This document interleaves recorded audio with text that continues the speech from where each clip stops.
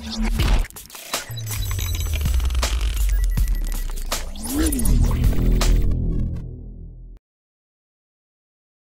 Hi friends sports பற்றின செய்திகளை உடனுக்குடனாக தெரிஞ்சுக்கொள்ள நம்ம தமிழ் கிரிக்கெட் சேனலை சப்ஸ்கிரைப் பண்ணுங்க. இந்திய அணியானது நியூசிலாந்து மணியை சுற்றுப்பயணம் மேற்கொண்டு ஐந்து போட்டியில் கொண்ட ஒரு நாள் தொடரில் விளையாடுறாங்க. இதில் முதல் போட்டியில் முதலில் பேட்டிங் செய்த நியூசிலாந்து அணியானது இந்திய பந்து வீச்சு தாக்குப்பிடிக்க முடியாமல் முப்பத்தி எட்டு ஓவர்களில் அனைத்து விக்கெட்டுகளையும் இழந்து நூத்தி ஐம்பத்தி ஏழு ரன்களை எடுத்தது. நியூசிலாந்து அணியின் கேப்டனான வில்லியம்சன் மட்டும் அறுபத்தி நாலு ரன்களை சேகரித்தார். மற்ற எந்த பேட்ஸ்மேனும் சிறப்பாக செயல்படவில்லை. இந்திய அணியின் தரப்பில் முகமது சமி மூணு விக்கெட்டுகளும் குல்தீப் யாதவ் நாலு விக்கெட்டும் யுவேந்தர் சஹால் இரண்டு விக்கெட்டும் கேதார் ஜாதவ் ஒரு விக்கெட்டும் கைப்பற்றினர் பின்னர் களமிறங்கிய இந்திய அணியின் தரப்பில் ரோஹித் சர்மா பதினோரு ரன்களில் தனது விக்கெட்டை பறிகொடுத்து வெளியேறினார். பின்னர் களமிறங்கிய கேப்டன் கோலி மற்றும் சிகர் தவான் ஆகியோர் நிதானமாக விளையாடி ரன்களை சேர்த்தனர். கேப்டன் விராட் கோலி நாற்பத்தி ஐந்து ரன்கள் எடுத்த நிலையில் தன்னுடைய விக்கெட்டை பறிகொடுத்து வெளியேறினார். சிறப்பாக விளையாடிய இந்திய அணியின் தொடக்க ஆட்டக்காரர் சிக்கர் தவான் எழுபத்தி ஐந்து ரன்களை சேகரித்தார். அவருக்கு உறுதுணையாக இருந்த ராயுடு பதிமூணு ரன்களை எடுத்தார். இந்திய அணியானது முப்பத்தி ஐந்தாவது ஓவரில் எட்டு விக்கெட் வித்தியாசத்தில் வெற்றி இலக்கை எட்டியது. இந்த வெற்றியின் மூலமாக இந்திய அணியானது ஐந்து போட்டியில் கொண்ட ஒருநாள் தொடரில் ஒன்றுக்கு ஜீரோ என்ற என்ற நிலையில் முன்னிலை பெற்றுள்ளது. இதற்கு முன்னதாக இலங்கை அணியின் உடன் விளையாடிய ஒருநாள் தொடரில் நியூசிலாந்து அணியின் பேட்ஸ்மேன் ராஸ் டைலர் மூன்று போட்டிகள் முறையே